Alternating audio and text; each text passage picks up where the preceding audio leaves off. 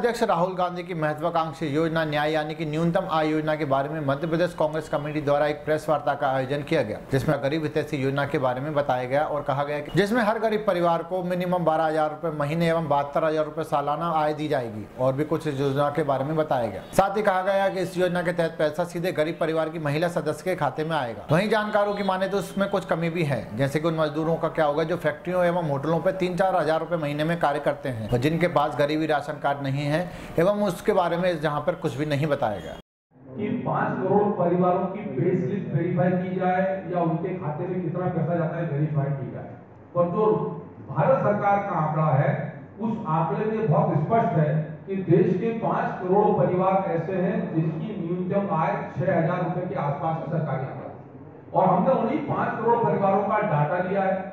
और उन्हीं पाँच करोड़ परिवारों में इरिस्पेक्टिव ऑफ़ ये चेक करें कि उनकी छह हज़ार की इनकम है कि पाँच हज़ार की है?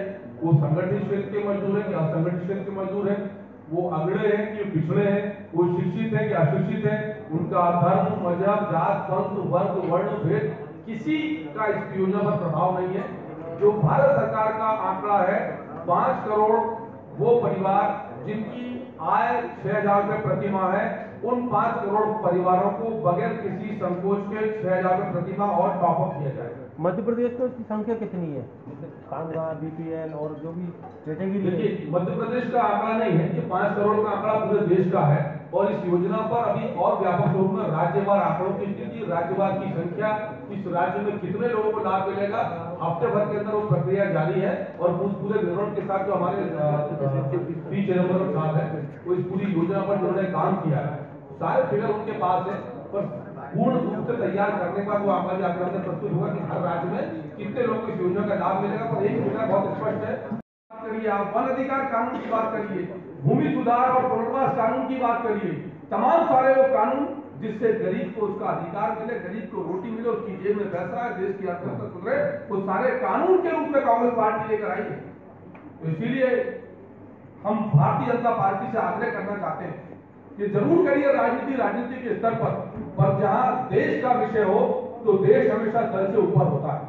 आप खूब आलोचना करिए कांग्रेस पार्टी की और सार्थक आलोचना करिए, सकारात्मक आलोचना करिए। हमने प्रमाण के साथ आपके सामने तथ्य प्रस्तुत किए कि किस प्रकार कांग्रेस पार्टी ने जो कहा, सो किया। रघुकुल रीत सदा चली आई, प्राण जाए पर वचन न जाए भाव और भावना के साथ कांग्रेस पार्टी देश भर में काम कर रही है। और आज भारतीय जनता पार्टी के कुप्रचार का, दुष्प्रचार का जवाब देने के लिए कांग्रेस पार्टी के पास आप मित्रों से बड़ा मंच नहीं हो सकता, जो किसी भी राजनीतिक व्यवस्था और आम जनता के बीच संवाद का सेतु है। तो मेरा कर्मत्र आग्रह आपसे है कि इस योजना का सच, इस योजना का वास्तविक स्वरूप कांग्रेस पार्टी की मंशा, मंतव्य, इन सारी भावना को कृपया करके जनता तक पहुंचाइए आप, क्योंकि जिस प्रकार का छलावा, छल, कपट और धोखा नरेंद्र मोदी जी के राज में हुआ है चाहे किसानों की आय का विषय हो, रोज़गार का विषय हो, निवेश का विषय हो, बहन बेटियों के अधिकार कर्तव्यों का विषय हो जीएसटी के बाद देश की अर्थव्यवस्था का विषय हो, नोटबंदी के बाद प्रधानमंत्री निरुत्तर हो, इन तमाम सारे विषयों पर आपने बहुत सहयोग किया। इसके लिए आप सबको मैं साधुवाद देना चाहता हूँ। और कांग्रेस पार्टी की सरकार ने दस साल में दिया, तब किसी पर कोई कर नहीं। पड़ता तो ये जेब लाटने की जो स्कीम है, ये भारतीय जनता पार्टी की है किसी की जेब काटो और किसी को बांटो। हम उस योजना पर काम नहीं करते। कांग्रेस कांग्रेस संगठन की तरफ़ से प्रस्ताव बड़े नेता कड़ी से चुनाव लड़े सर मेरा एक सुझाव था कि पहले इस पे बात करें फिर मैं बैठूँ आपके लिए सारे उत्तर देके पंकज भाई वही आंकड़े आए होंगे। सर सरकारी आंकड़ा नहीं तो भारत सरकार का आंकड़ा है। सरकार में बीजेपी रहे कांग्रेस रहे जो सांख्यिकी के जो आंकड़े तो स्थिर ये साबित करने के लिए कि वो गरीब है। अगला। उसके लिए वन विंडो प्रणाली रहेगी या फिर वो अलग अलग विभागों सर में? साबित करने के तो, तो सरकार का आंकड़ा इसके बाद। पाँच करोड़ के बाद।